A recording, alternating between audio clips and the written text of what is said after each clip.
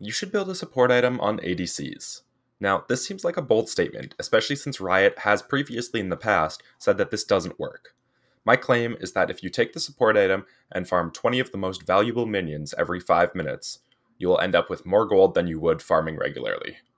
Over the rest of this video, I will explain why and how this works, but first let me explain how I came to this conclusion. You see, I suck at this game, so when Season 11 brought with it hundreds of changes to items, old and new, I saw an opportunity to look through the numbers and find an item that would give me a hidden edge over my opponents. You see, in Season 11, there are two types of items that can generate you gold the Collector, and, well, all of the support items. The Collector gives you 25 gold anytime you kill an enemy champion. However, like I said at the start of the video, I suck at this game, so that clearly is not an option. So that leaves us with the support items. Now, laners building a support item isn't exactly a new idea, even at the highest level of play. All the way back in Season 9 at Worlds, we saw Nuguri building Ancient Coin on Vladimir in the top lane. Then in Season 10, we saw the surge of Sona and Lux spot lanes, where both champions would build the support item and split farm.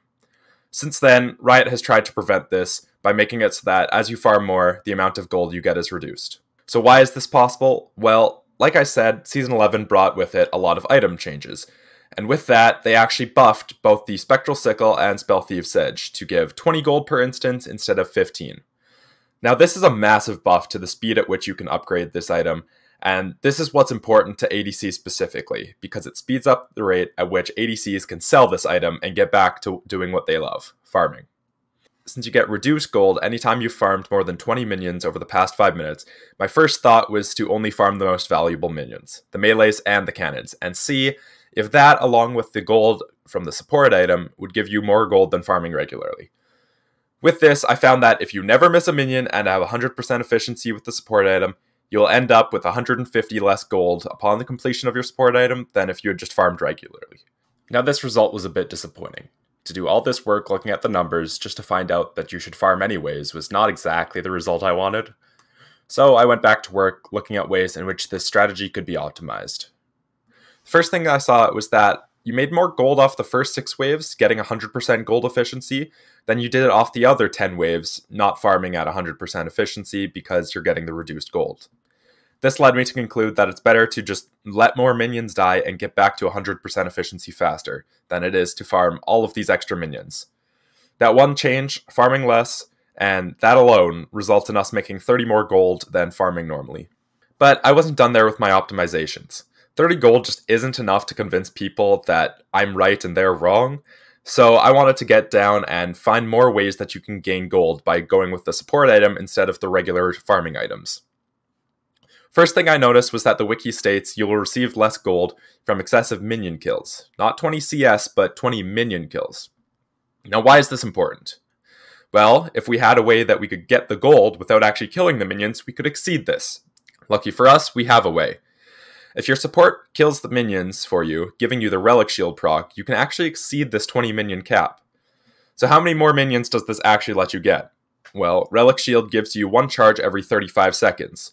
So we take 300 seconds or 5 minutes and divide by 35 seconds per proc and get a number that we're going to round to about 8 Relic Shield procs every 5 minutes. In reality, it's roughly 8.5. Since you start with two stacks at the start of the game, in our first 5 minute cycle you can get 10, 10 Relic Shield procs and then 8 in every 5 minute cycle onwards. Of note, like Spectral Sickle and Spellthief's Edge, this item was also buffed to produce more gold, from 45 seconds per proc to only 35. And with this new gold, we can now end up getting an extra 265 gold at the time of the support item completion, as long as we do everything optimally. Now that last bit is important and a little bit worrying because I'm saying if we do everything optimally. In reality, nobody is going to be getting every single farm and no one's going to be achieving 100% optimization on the support items. At some point during the game, you will sit on three stacks, whether it be because you died or just because you went back to base or your opponent did. So, how fast do we need to actually complete the support item to make it gold efficient? Well, I decided to create as simple a formula as I could in order to show this. So we get this formula. The gold difference at time of completion is 1000 minus 50.4 over 30 times time minus 80 plus 14 times the number of minion missed. Now, this is a confusing formula, so let me explain where I got each of the numbers from and what each number actually means. So first off, why a thousand? Well, a thousand is the amount of gold you can get from the support item, so we use it as the baseline because we're looking to sell the item as soon as we complete it. So at the time of completion, you'll have a thousand gold from just the support item alone. Next, we get into the farming numbers, and we have 50.4 over 30. Probably the most confusing number in this. So this is to account for the amount of gold you will lose by choosing not to farm. So this is found by first off ignoring the cannons, because either item you build, you'll end up getting every single cannon either through relic shield procs or by farming them normally. So then we find the number of minions that each person is killing. So with the support item, you'll farm 26 melee minions over this 5 minute span, each of those being worth 21 gold. For the regular farming item, you can farm 6 minions, 3 melee, 3 caster, for a total of 105 gold per wave. So we'll have that with the support item, you can farm 26 melee minions, 21 gold each, so 26 times 21, and that'll equal 546 gold from minions. Farming regularly, however, you'll be getting 105 gold from each wave, and there's 10 waves in a 5 minute span. So this ends up being 1050 gold. So subtracting from each other, you'll find that with the support item, you'll make 504 less gold than if you had farmed regularly with a normal item. So I decided to divide by 10 to show the amount of gold per wave that you'll roughly be losing by taking the support item instead of taking the regular farming item. And that was just 50.4 gold. Then I wanted to divide it into how much gold per second, because seconds are easier to calculate than waves. So we get 50.4 divided by 30 because a new minion wave spawns every 30 seconds. So I did time minus 80 because in the bot lane, you're roughly going to start farming around the 1 minute and 50 second mark. But that's at wave 1. I wanted to mark where wave 0 was. Since every minion wave spawns every 30 seconds, we just subtracted 30 seconds from the 1 minute and 50 seconds and have 80 seconds or a minute and 20 seconds. That's where the time minus 80 comes from. Then there's the 14 extra gold per minion missed. Now this might seem confusing. Why is the support item gaining gold per minion missed? And the reason for that is both farming regularly and with a support item, you'll end up missing gold. But how much gold differs between which item you're building. You see, with the support item, anytime you miss a melee minion, you just replace it with a caster minion, and you end up only losing 7 gold because you go from a 21 gold minion to a 14 gold minion. If you're farming with a regular item, you just lose that gold forever. So that's where we get that the support item build is 14 gold closer for every minion missed. This formula can then be converted into one that shows us the time needed to complete the support item with this new formula. So the time needed for an efficient completion is 675 plus 8.3 seconds per minion missed. So this says if everything is done perfectly, you need to complete your support item by 675 seconds. Any minions missed, add an extra 8.3 seconds to this. So, for example, if you miss 30 farm before item completion, or around 140 farm by 15 minutes, or around 8 CS per minute, you'll need to complete the item in 924 seconds, or 15 minutes and 24 seconds. With these new numbers, this task all of a sudden feels a lot more manageable. 15 minutes is really not too long for the support item completion, and 8 farm per minute is pretty average from what I've seen in this game. If anything, it's high. I will, however, note that this formula only holds while your support item has not finished the Relic Shield passive, and the fastest they can do that is around 15 minutes anyways. In case you don't believe the numbers alone, let's look at some games where I played like this and see how the gold pans out. So in this first image, I'm playing Heimerdinger bot against Kog'Maw. You can see at the time of this picture being taken, I'm down 20 farm, a kill, an assist, and a tower plate. Yet somehow, I am up 400 gold, and my support is also up 600 gold. That is only due to the support item and allowing my own support to farm himself.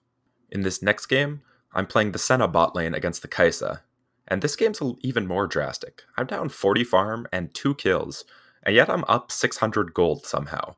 My support is up 2000 gold on the enemy support. Again, this is all due to the support item. So let's move past the math and numbers and actually get down to the pros and cons. As much as I've been hyping this up, there are cons, you're not just going to be getting more gold for free. And there's some champions and scenarios which you should just not build this item.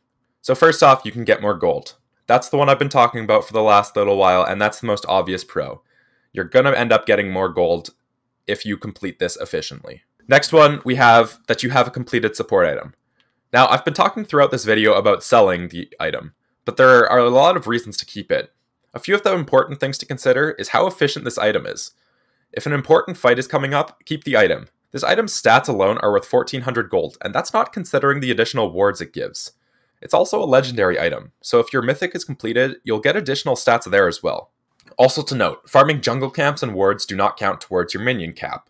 So some games you can just farm a lot of jungle camps and keep getting efficient gold from lane minions. You have the option to do both, and having more options is always a positive in this game. The next positive, you can get the Vigilant Wardstone. And a lot of you are probably going to be asking, what even is the Vigilant Wardstone and why do I want this item? This item is an 1100 gold legendary that gives you 12% to your bonus AD, ability haste, and AP. It's a very gold efficient item that provides a lot of power on top of its passive, allowing you to hold and place more control wards. And I know what you're thinking. You need a support item to have this item. So, this point completely overrides the last point I made about the flexibility allowing you to sell or keep the support item. Here's the thing though this item does not require you to have a completed support item in your inventory.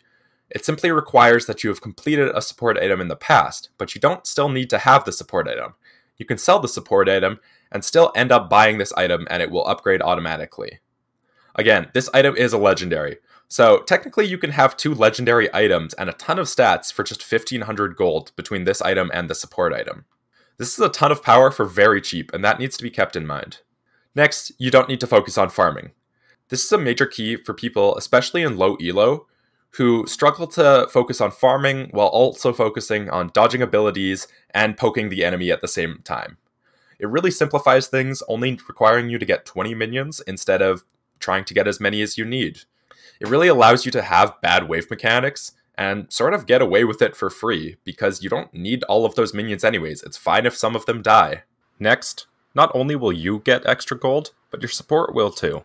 See, we don't need to just let those minions die. See, your support can actually take the farm and also get 20 CS per 5 minutes and end up with more gold as well. Now we'll move on to the cons. There are cons here. Firstly, you'll be weaker in the early game. The unupgraded support item is just weaker than the Doran's item. Until you complete your first upgrade, you will be weaker. You'll have less stats. Next, you need to keep track of when you farmed minions to make sure you don't get reduced gold. It's very important that you don't exceed this 20 CS per 5 minutes because you'll end up getting 50% reduced gold, and that can scale up to 80% if you keep doing it. It's way less gold efficient, and it really makes this strategy not worth it if you end up accidentally farming minions that end up giving you reduced gold. The next con is you'll need a Relic Shield support. As I addressed before, the Relic Shield is quite necessary to make this super gold efficient. If you don't have a Relic Shield support, you'll struggle a lot more to make this gold efficient in comparison to just farming regularly. The next con is you need to be able to poke and attack the enemy. Ultimately, you need to be able to attack people to complete your support item. It's not worth it if you're playing someone who's just sitting under tower getting bullied and never hitting the enemy. You'll, you won't complete your support item fast enough to make this worth it. So based on these pros and cons, which champion should build the support item instead of the Doran's items? First, we want to look at which champs can poke and like short trades. Mostly long range ADCs with abilities that are good for poking and getting easy stacks of your support item. Then champions who can stack AD and ability haste, which utilize Vigilant Wardstone well.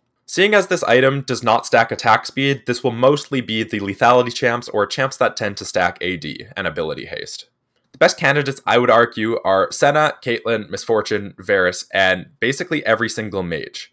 Now, Senna herself is a little more complicated with her Soul's passive, so I actually made a separate video going into specifically Senna and how she interacts with this strategy. You can see that video in the description. ADCs which can utilize Hail of Blades well also do well with this starting item due to the ability to quickly give the 3 stacks with 3 auto, auto attacks. Now who shouldn't build this item? This is going to be short range ADCs who can't poke, champions that stack a lot of attack speed because Vigilant Wardstone isn't good on them, and champions that need a strong early game, and champions that prefer all-ins to short trades. From this, I would argue that Draven, Samira, and Vayne should never build this item. For Draven specifically, his early game power is too integral to his kit, as well as he can't use his passive if he's using this item, because he's not stacking off of minions and getting some adoration stacks. For Vayne and Samira, they care way too much about all-ins, so it's difficult for them to get the stacks constantly without putting themselves in way too much danger. Obviously, this works better in low elos. In low elos, where ADCs are farming at around 5 or 6 CS per minute, I would say that this item is always efficient to build over the regular items, unless you're playing specific champs like Draven who needs his Adoration passive. As the elo rises, the farm also goes up, so the situations where building this is efficient become a little more precise, although I would argue on specific champs, it can be utilized all the way up to the professional level. If you stayed to this end, thanks for watching. Obviously, this video is a little bit different from what I normally do, going more into math and stats, but it's something I still enjoy doing, and I look forward to doing it more in the future.